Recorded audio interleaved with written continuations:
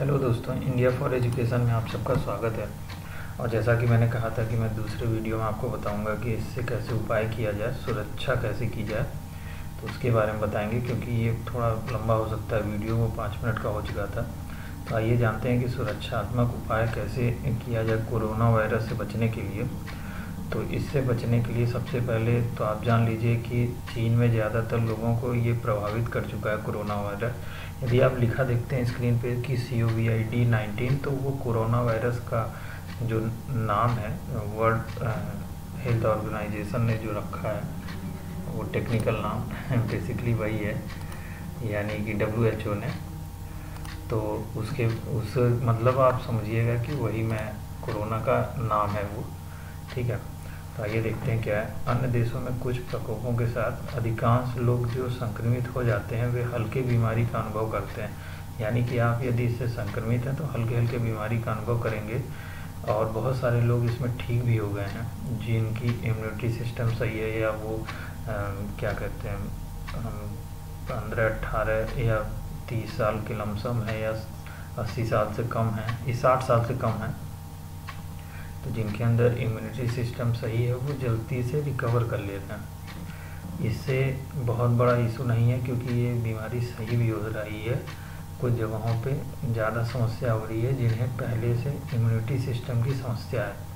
तो हालाँकि अभी योगा भी बताया गया है कि कपाल भारती अनुलोम विलोम या गिलोय आप खा सकते हैं, इस तरह की चीज़ें योग गुरु के द्वारा।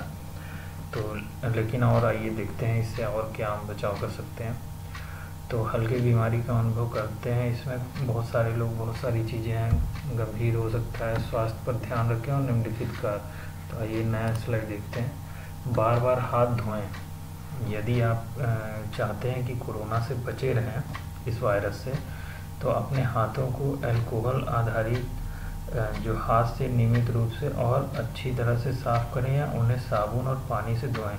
पहली बात, साबुन से 20 से 30 सेकंड तक हाथ को रगड़ें और साफ़ करें, फिर उसके बाद हाथ को धोएँ। तो एक तो इससे यदि आपके हाथ में या कहीं भी कोरोना वायरस का बैक्टीरिया लगा है तो वो साफ़ हो जाएगा। और दूसरा यहाँ अल्कोहल का अर्थ ये नहीं है कि आप गए शराब कहीं से खरीद लाए या अल्कोहल टाइप की चीज़ें लिए और उससे हाथ धोएँ, बिल्कुल नहीं। जो सैनिटाइज़र होता है, उस सैनिटाइज़र में 60 से 70 परसेंट एल्कोहल होता है। जिस सैनिटाइज़र में 60-70 परसेंट से ज़्यादा एल्कोहल मिला होता है, आप पढ़ सकते हैं उस पर उसका इस्तेमाल करें, वो थोड़ा बेहतर काम करता है। तो कुछ अफवाहें भी हैं ऐसी जो अफवाह फैला रहे हैं कि अल्कोहल से आप हाथ धो लीजिए या उसी से आप करेंगे तभी होगा तो वो अफवाह है। एल्कोहल का मतलब यहाँ जो सैनिटाइज़र हम लोग यूज़ करते हैं हाथ साफ़ करने के लिए, उस सैनिटाइज़र में 60 से 70 परसेंट एल्कोहल मौजूद हो, उस सैनिटाइज़र का इस्तेमाल आप कीजिए तो हाथ आपका साफ़ हो जाएगा। और क्यों की बात है तो अपने हाथों को साबुन और पानी से धोना या एल्कोहल आधारित हाथ रगड़ना वायरस का उपयोग करता है। इतना सुद्धिंदी जो आपके हाथों पर हो सकते हैं। ठीक है? तो यहाँ पे एल्कोहल का मतलब वही है सैनिटाइज़र से, ठीक है? तो इस बात को ध्यान रखिएगा कि सैनिटाइज़र से आप हाथ धोएँ। नेक्स्ट स्लाइड देखते हैं।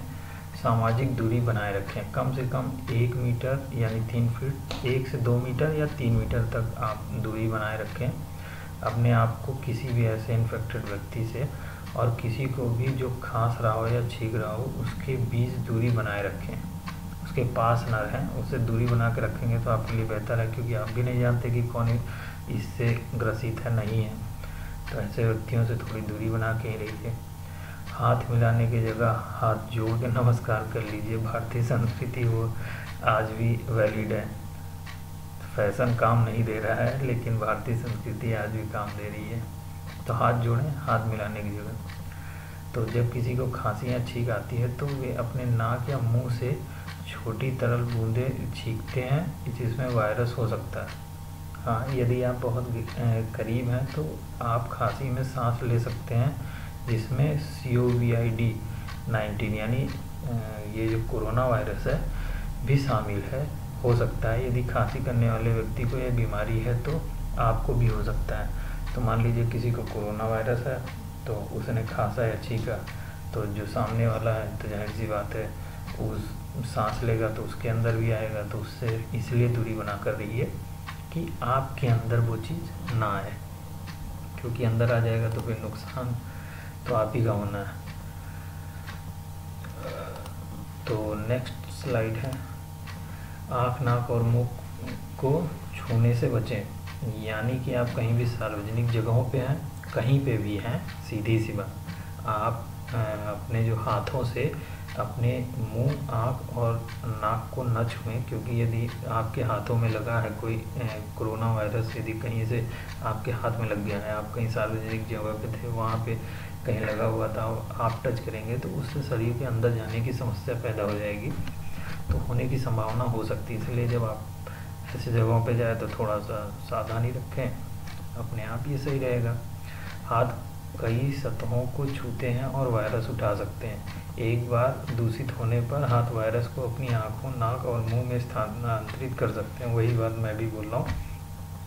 वहाँ से वायरस आपके शरीर में प्रवेश कर सकता है, आपको बीमार कर सकता है। इसलिए कोशिश करें कि जो आँख, नाक, मुँह है, उसको हाथ से न छुए। बहुत लोगों की आदत होती है, हाथ से ही दिन भर ऐसे मुँह टच करते रहते हैं तो वो ना करें। पहले हाथ धुलें या सैनिटाइज करें उसके बाद आप टच करें वरना ना करें। जब तक ये वायरस है तब तक। तो कोशिश करें वैसे करना तो नहीं चाहिए लेकिन तब तक ही आप थोड़ा आ, अपने आप को बचा के रखें तो ज़्यादा अच्छा होगा। नेक्स्ट स्लाइड है श्वसन स्वच्छता का अभ्यास करें। सुनिश्चित करें कि आप और आपके आसपास के लोग अच्छे श्वसन स्वच्छता का पालन करें। इसका मतलब है खांसी या छींक आने पर अपने मुँह जो मुड़ी हुई कोहनी या उतक से अपने मुँह को, नाक को ढकना, फिर इस्तेमाल किए गए उतक का तुरंत निपटान करें। यानी कि जब आप छींकते हैं तो कोशिश करें कपड़ा लगाएँ या कुछ भी और उसको टच ना करें। बूंदों से वायरस फैलता है। अच्छी स्वच्छता का पालन करके आप अपने आसपास के लोगों को सर्दी, फ्लू और जो कोरोना वायरस है C O V I D nineteen एक कोरोना वायरस का नाम है। इंग्लिश ये डब्ल्यू एच ओ द्वारा बताया गया तो उसको कोरोना ही समझें जैसे वायरस से बच बचाते हैं। तो सांस आप अच्छे ले, यानी आप कपाल भारती अनुलोम विलोम करें। प्राणायाम के जो आठ सात आठ जो भी योगा है, उसको कीजिए। श्वास अपने आप सही रहेगा। कपाल भारती प्राणायाम करने से तो इंस्टेंट आपका इम्यूनिटी सिस्टम बेहतर होता है। तो कोशिश कीजिए कि योगा कीजिए, और बेहतर रहेगा। बिना, उसमें तो कुछ लगना भी नहीं है, और बेहतर शरीर भी रहेगा। तो नेक्स्ट स्लाइड है। यदि आपको बुखार, यदि आपको बुखार, खांसी और सांस लेने में कठिनाई है तो जल्द चिकित्सा देखभाल की तलाश करें। ठीक है? बुखार और खांसी और सांस लेने में कठिनाई है तो किसी न किसी डॉक्टर से मिलिए। यदि आप अस्वस्थ महसूस करते हैं तो घर पर रहें। यदि आपको बुखार, खांसी और सांस लेने में कठिनाई हो तो चिकित्सा पर ध्यान दें और पहले से फ़ोन करें अपने स्थान स्थानीय स्वास्थ्य प्राधिकारी के निर्देशों का पालन करें। यानी जो आपके यहाँ के जो मेडिकल एडवाइज़र हैं। ऐसा कुछ है तो पहले जाके आप मिलिए, अपना इलाज कराइए। वहाँ से फिर आपको सारी सुविधाएँ, जो अस्पताल हैं या जो भी, वहाँ से आपको पूरी सुविधा इस समय भारत सरकार भी दे रही है। आपके लिए आसान हो जाएगा। और इस क्यों? का अर्थ है कि आपके क्षेत्र की स्थिति की जानकारी के लिए राष्ट्रीय और स्थानीय अधिकारियों के पास सबसे अधिक तारीख होगी। यानी सबसे अधिक अच्छी जानकारी होगी। एग्री में कॉल करने से आपका स्वास्थ्य देखभाल प्रदाता को जल्दी से सही स्वास्थ्य सुविधा के लिए निर्देश कर, निर्देशित कर सकेगा। यह आपकी रक्षा भी करेगा और वायरस और अन्य संक्रमणों को फैलने से रोकने में मदद करेगा। यानी कि आप पहले से सावधान रहें। हालाँकि इस बात को ध्यान रखें कि आप ऐसी किसी चीज़ या व्यक्ति के संपर्क में आए हों जो इससे इफ़ेक्टेड है तो तो ज़्यादा सही है वरना जिन शहरों में ऐसा अभी बहुत नहीं है, वहाँ नॉर्मल भी हो सकता है बीमार हो तो इससे पैनिक ना हो। यानी बहुत घबराने की ज़रूरत नहीं है। आप बेसिकली उसको एक स्टेप वाइज देखिए कि सही में ऐसा है या नहीं तो डॉक्टर को दिखाइए, वो स्वयं आपके समाधान होगा।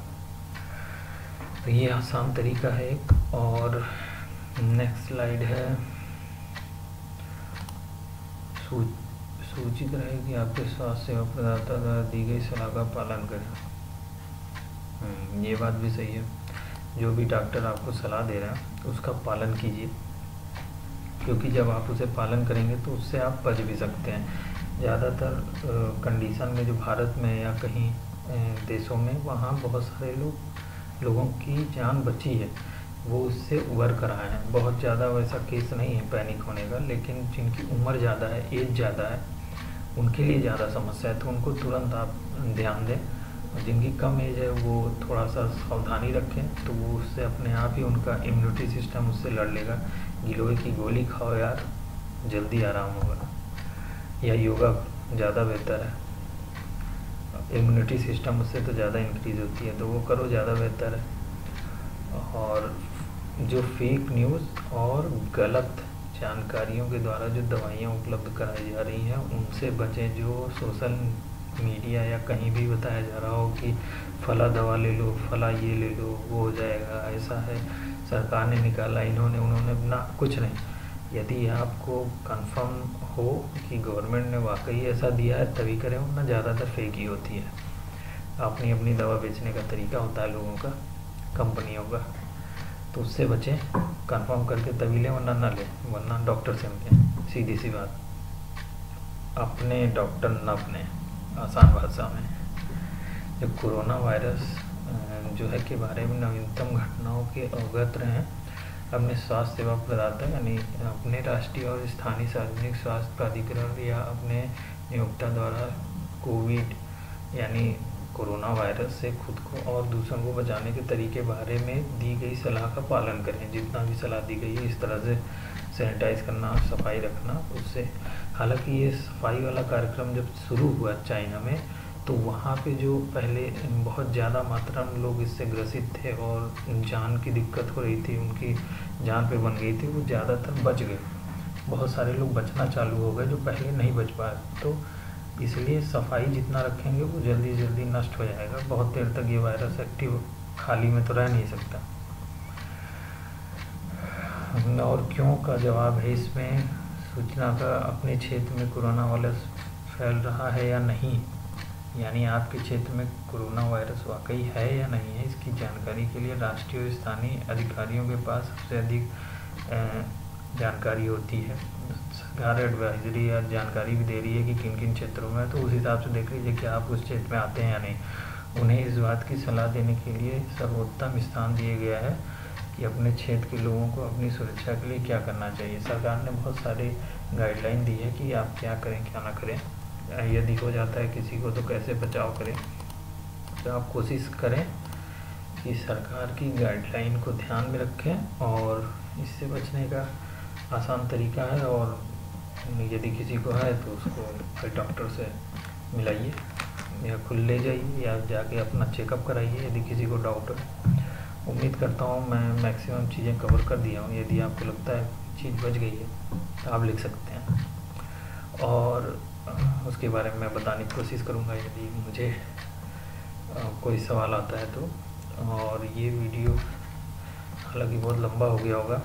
ये वीडियो देखने के लिए आप सबका बहुत बहुत धन्यवाद। सो धन्यवाद.